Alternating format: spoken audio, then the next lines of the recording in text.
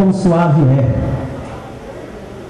Oh, quão bom e quão suave é que os irmãos vivam em união.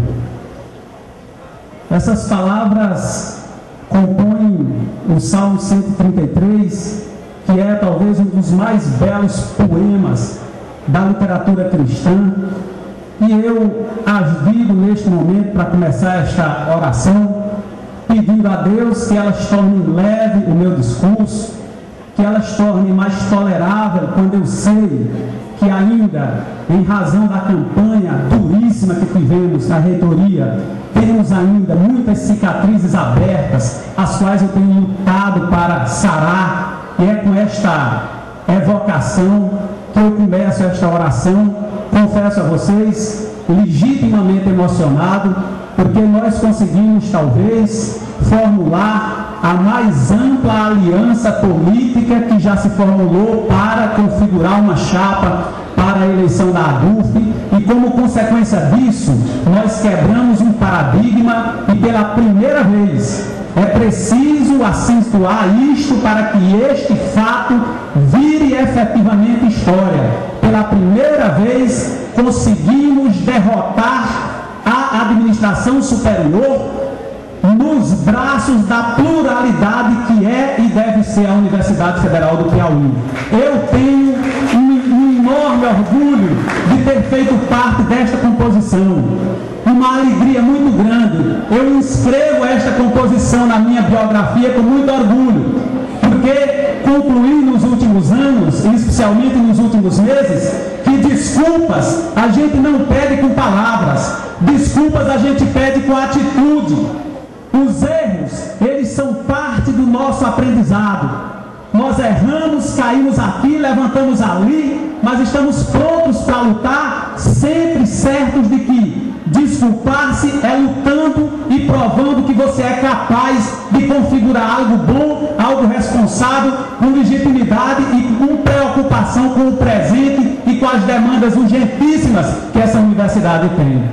Então essas seriam as palavras iniciais que provavelmente por alguns será lida como é, sofisma, mas não me importa. Meu coração levíssimo, desprovido de qualquer ressentimento, conduz essas palavras até vocês com muita sinceridade. Eu lembrei muito durante esta campanha. Saibam que foi uma campanha duríssima, dura, uma campanha muito dura enfrentando forças terríveis, porque inclusive forças subterrâneas, e nós as conseguimos derrotar. Não foi fácil, perdemos sono, suamos muito, nos indispusemos com amigos para poder configurar esta vitória. E durante toda a campanha, especialmente na companhia do companheiro Mário Ângelo,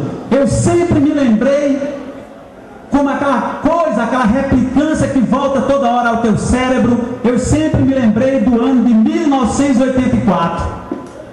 Porque 1984 é um ano paradigmático na história do Brasil, e eu posso dizer na condição de professor de história. E é um ano paradigmático na história pessoal do Edvar, porque é o ano em que eu entrei na Universidade Federal do Piauí, é o ano em que eu assisti embevecido, a professora Valéria venceu uma eleição para o Diretório Central dos Estudantes. É o ano em que eu vi a Zelma, na companhia do Bernardo e de outros tantos que já tinham chegado há mais tempo, mostrar didaticamente como é que se constrói um centro acadêmico. Apenas uma válvula se manteve aberta na resistência do movimento social. E esta válvula foi o movimento estudantil.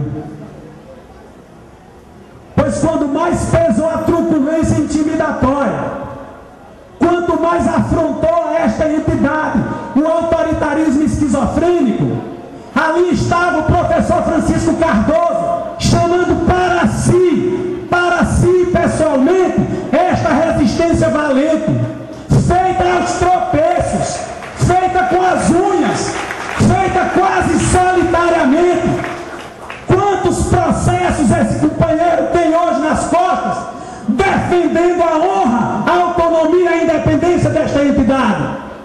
Quantas vezes, meu Deus do céu, pesou a solidão sobre este companheiro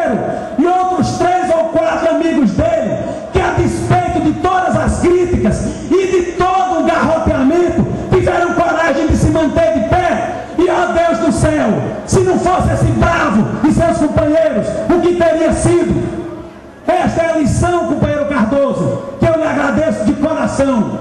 Receba com muita sinceridade minha admiração, meu apreço e minha gratidão pela sua luta. Grande abraço a todos.